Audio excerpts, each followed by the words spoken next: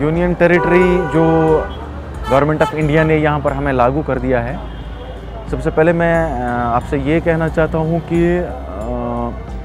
कोई जब ज़बरदस्ती से किसी पे कोई चीज़ ठोकना चाहता है, सेम हमारे कश्मीर पे भी यही अप्लाई होता है।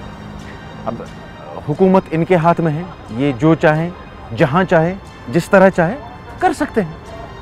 क्योंकि पूछने वाला कोई है नहीं।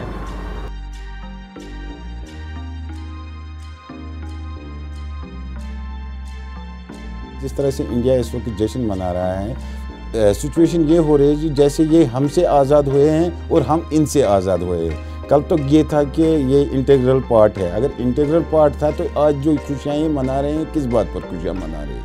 हाँ ये जो, ये बात ज़रूर, ये बात सही है कि इन्होंने एक अस्सी लाख की कौम को इनसिक्योर किया है। अगर ये इस बात पर खुशियाँ मना रहे हैं तो ठीक है, मना नहीं दो खुशियाँ।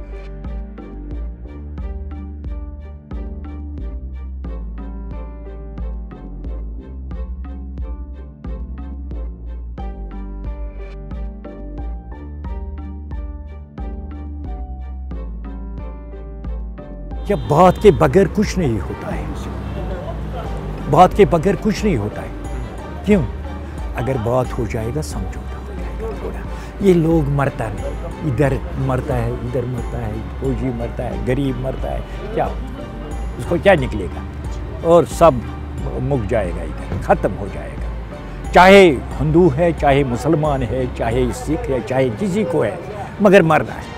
अगर बात नहीं हो